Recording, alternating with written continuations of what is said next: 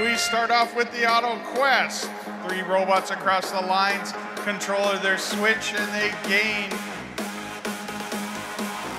an extra ranking point. Red Alliance looks like they completed the quest. Blue Alliance had a little issues, didn't get a cube in their switch.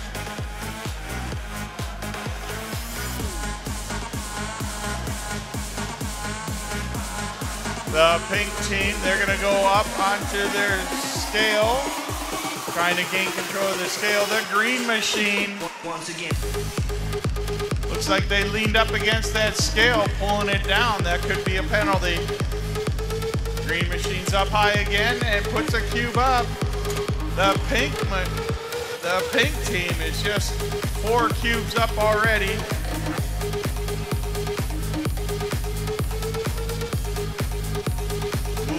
Alliance has control of the scale and of their switch.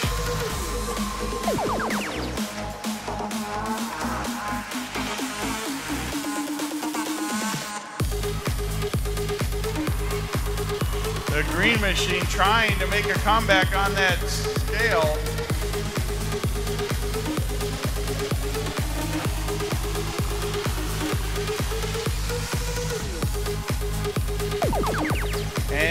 Goes a power up force for the red, taking control of the scale and the switch.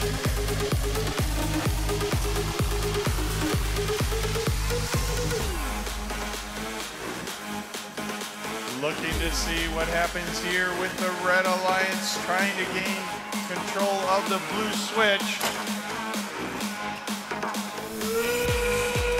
Last 30 seconds of the match. The green machine is up on the platform with their ramps out, ready to for their alliance partners to come in. That could be a vital points here. There goes the last levitate. Power up. 3745 is not quite getting up. Four, three, two, one.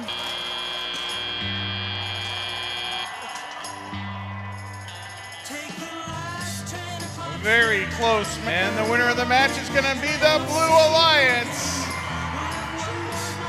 Taking the match 376 to 313 with two ranking points for the Red Alliance, one ranking point for